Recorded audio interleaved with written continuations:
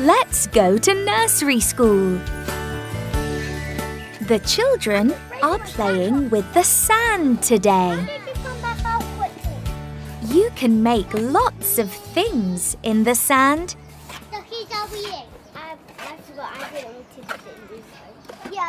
What's Lily making? She's making a lake. She digs a hole in the sand and fills it with water. What a good lake, Lily! What else can you see? There's a road. Can you see the blue car? It's on the road. And here's a castle.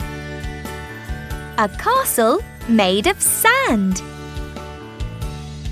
Here's another castle. It's in the school playground. It's big. Let's look for Mouse. Where is he?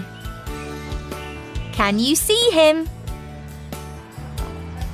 Here he is. He's on the castle. The children have a sand pit indoors too. Playing in the sand is fun.